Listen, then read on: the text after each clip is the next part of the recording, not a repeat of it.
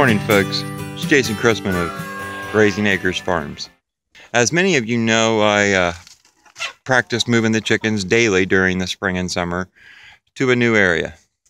Um, I have their little mobile coop, which is just over here. There you can see the mobile coop.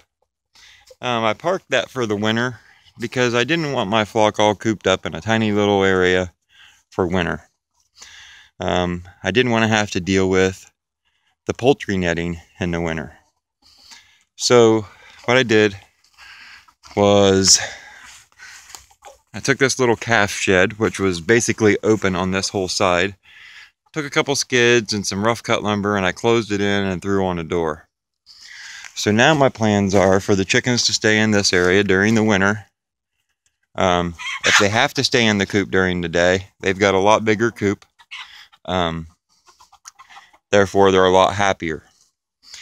Now, what I want to discuss today is increasing egg production during the winter.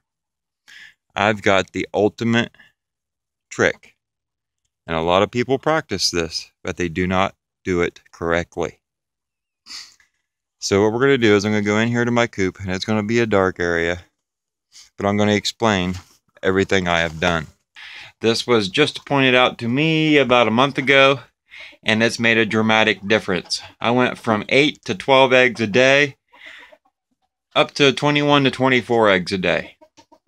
I have uh, 36 chickens right now, and uh, so I was very glad to have this egg production tip, and now I want to share it with you. There's a lot of people that share tips on how to increase egg production, but as I've tried them, they do not work. This one here works. Okay, you're going to notice uh, the light there that's on. That's just a trouble light like you would use for a car. Has the little cage over the bulb at the end. And uh, that light is run to a timer, and the timer is set. I'm going to explain now how I set the timer. What you want to do is you want to watch and see what time your sun is setting. From there, like for instance, for here it was 5.30, I counted back 16 hours, which took me to 1.30 in the morning. So I set my light to kick on at 1.30 in the morning, and it's still on now at quarter till 8 in the morning because I have it set to go off at 8. That gives me time to come in here in the coop, have a little light in the morning while I'm doing my chores, and uh, at 8 o'clock the light kicks off until 1 1:30 a.m. So that's that's the main gist of it. You're gonna watch the sunset, count back 16 hours, have your timer kick on, have it kick off after the sun comes up. Bam, you're done. Within about a week, you're gonna see a dramatic change in egg production.